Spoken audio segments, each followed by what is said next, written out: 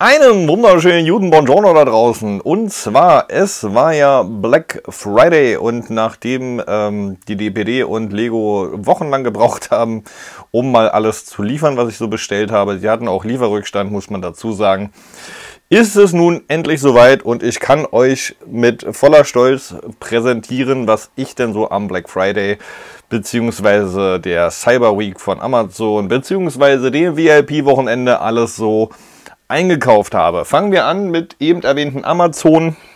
Dort gab es günstig diese hübsche Polizeistation. Ich hoffe, ihr könnt sie sehen. Ja, gerade mein Sohn. Ne? Ähm, ja, die habe ich mir eigentlich äh, hauptsächlich gekauft wegen einer Figur, die da drin ist, nämlich Daisy Kaboom. Hier unten könnt ihr sie sehen. Da. Ähm, bis ich dann gemerkt habe, dass sie auch im Adventskalender drin ist. Ähm, hätte ich also doch einen Ticken günstiger haben können, aber egal. Dafür ist hier noch äh, Wheeler mit dabei, ähm, der Polizeichef aus der Lego City Serie. Und ähm, so grundsätzlich finde ich dieses Set auch ganz nett. Also ähm, muss ich mir auf jeden Fall angucken, werde ich aufbauen. Und ähm, ich glaube, die ist sogar modular gestaltet, dass man sie auch immer wieder umbauen kann. Ja, genau, hier unten sieht man es auch so ein bisschen. Ähm, da dass man es halt immer wieder umbauen kann. So, genau, das kam von Amazon. Ich stelle das jetzt hier mal wieder äh, zurück. Genau, und natürlich, natürlich, natürlich habe ich auch fleißig bei Lego eingeshoppt. Wie gesagt, da gab es halt äh, Stück weit Probleme mit ähm, Lieferrückständen, beziehungsweise halt bei mir mit der DPD. Das dauert ja eh immer wochenlang, bis die hier mal ankommen. Aber Freunde, es ist endlich da. Es ist endlich da. Es ist endlich da. Lange habe ich darauf gewartet das Ecto 1. Ich freue mich tierisch drüber. Also ja, man hat äh, schon den einen oder anderen gesehen. Ähm, ja, irgendwie ist das blöd hier mit der Lampe. Spiegelt natürlich ein bisschen, aber egal, müssen wir jetzt durch. Äh, kann die jetzt nicht, nicht eben umstellen. Ähm, ja, auf jeden Fall ein tolles Set, finde ich. Und ähm, auch wenn da extrem viele Sticker dabei sind, wobei ich, ich sagen muss, was ich bisher gesehen habe von dem Set, was Sticker angeht, muss ich sagen, finde ich die Entscheidung, dort Sticker zu machen, gar nicht so verkehrt, weil dann kann man diese ollen Rostflecken nämlich ähm, weglassen und hat quasi ein hübsches neues Ecto 1 am Start.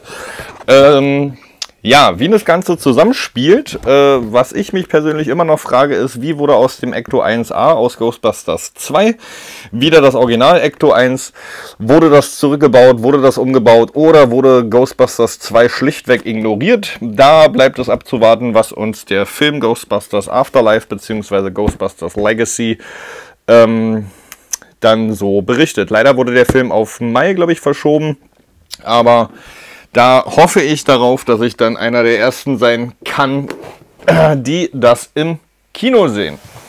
So, wir bleiben natürlich bei legendären Filmen.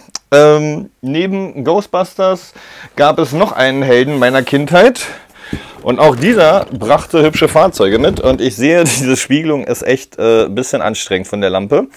Der 1989er Batwing aus ähm, Batmans Rückkehr beziehungsweise Batman Returns, dem Nee, gar nicht. Aus dem ersten Film ist der sogar. Stimmt, aus dem ersten Film. Der erste Film ähm, mit äh, Jack Nicholson als Joker, der ist ja auch als Figur mit dabei.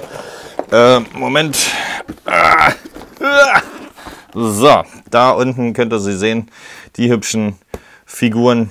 Ähm, aus dem ersten Batman-Film überhaupt von 1989 von Tim Burton mit Michael Keaton als Batman, genau, und Jack Nicholson als Joker. Freue ich mich auf jeden Fall drauf.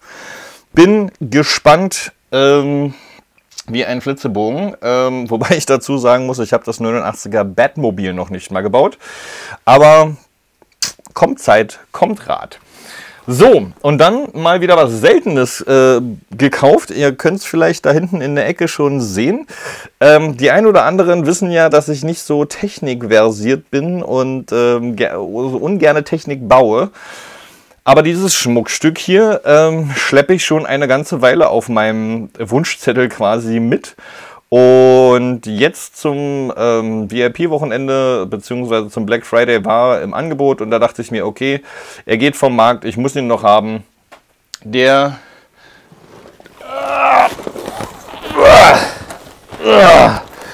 Der rote Technikkran. Ich hoffe, man kann ihn sehen. Jawohl, man kann ihn sehen. Die 42082 kann ihr auch hier aufklappen. So sehe ich gar nichts mehr, aber ich hoffe, ihr seht noch halbwegs irgendwas. Genau, der rote Technikkran habe ich mir noch gesichert und ähm, ich bin echt gespannt. Also wie gesagt, ich bin kein Technikfreund. Ähm, aber dieses hübsche Schmuckstück fand ich doch schon die ganze Zeit immer wieder sehr faszinierend und ähm, ja, ich fürchte, ich werde mich da auch aufbautechnisch durchquälen müssen, aber dieses Ding fand ich doch ziemlich, ziemlich cool. Ich sehe gerade auf dem Karton, es ist sogar ein 2 in 1 Modell, aber ich weiß gar nicht, was ist denn eigentlich das zweite Modell davon? Hm, hm, hm. Ach so, da kann man äh, Mobiler Freifallhammer. Ah ja, okay. Man kann das Ding also in ein, eine Ramme umbauen. Ah, so. Das war das, was ich so eingekauft habe. ähm, dazu gab es jede Menge Gratisbeigaben, beziehungsweise äh, habe ich jetzt hier vier Stück bekommen insgesamt. Und zwar zweimal das Charles Dickens GWP. Ich denke mal, das sollte euch durchaus vertraut sein inzwischen. Ihr habt es schon ein paar Mal gesehen, überall. Wurde auch gerne aufge aufgebaut.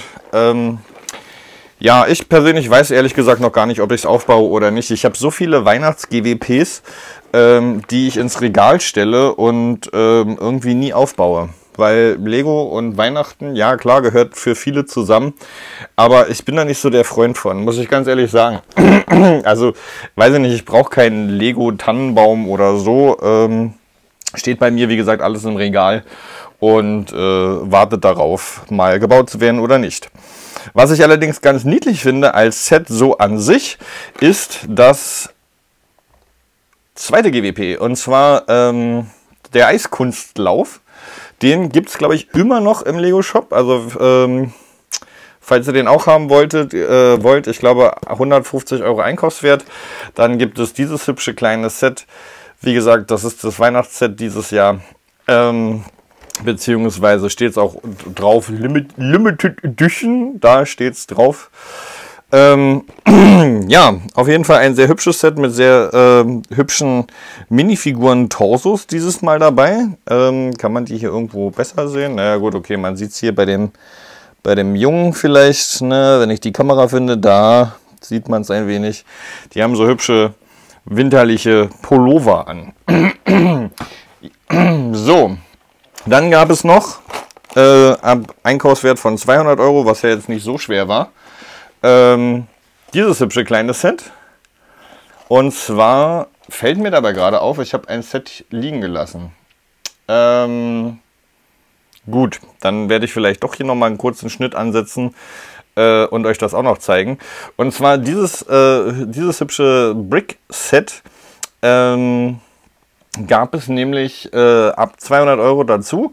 Und ich hatte den Ecto 1 mir gekauft, der hat ja 100 äh, 95 oder so gekostet und habe dann noch eine Kleinigkeit ähm, dazu geholt.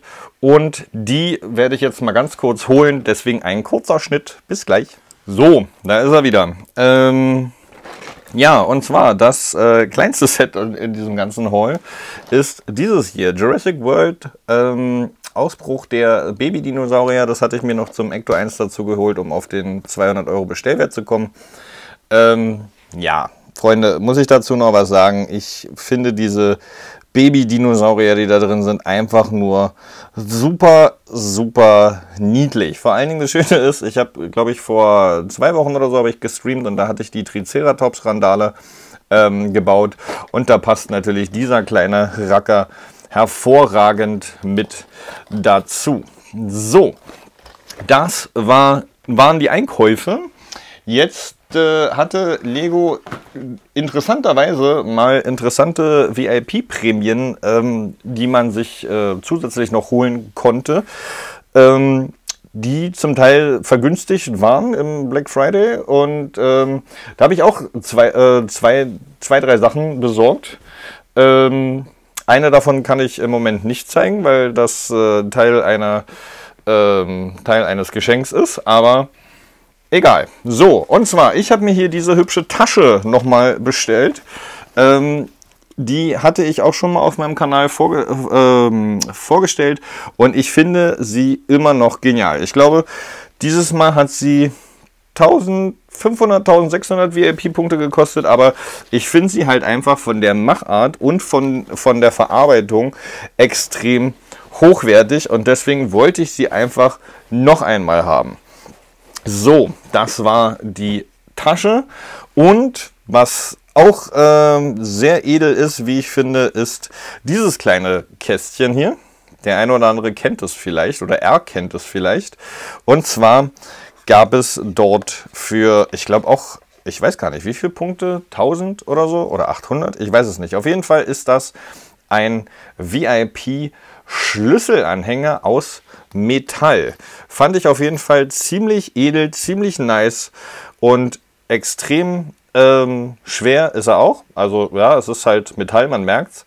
Und ich finde den halt einfach total super. Hier auf der Rückseite ja, kann man es erkennen. Ja, so ein bisschen Lego VIP aufgeprintet. Naja, gestanzt wohl eher. Oder eingraviert. Ja, eher eingraviert. Also auf jeden Fall doch sehr, da kann man es sehen. Fand ich auf jeden Fall sehr edel, sehr hübsch. Wollte ich haben. Deswegen habe ich mir den mitbestellt. Ja, das war mein äh, VIP Black Friday, Cyber Monday, wie auch immer, super mega Haul. Ähm, ich hoffe, es hat euch gefallen. Äh, schreibt mir gerne unten in die Kommentare, welches Set ähm, ihr davon vielleicht mal in einem Livestream aufgebaut haben wollt, von mir mit euch. Und ja, falls ihr noch nicht abonniert habt, tut das gerne. Ähm, wenn euch das Video gefallen hat, drückt ein Däumchen nach oben. Wenn es euch nicht gefallen hat, könnt ihr gerne ein Däumchen nach unten drücken, aber dann würde es mich freuen, wenn ihr in die Kommentare schreibt, was genau euch nicht gefallen hat. Das würde mir nämlich helfen, den Kanal noch weiter zu entwickeln. Und von daher, ähm, ja, Kritik ist halt immer gerne gesehen und äh, wird auch gehört und gelesen. So, Freunde, das soll es gewesen sein von mir. Ähm, macht's gut und bis zum nächsten Mal. Ciao.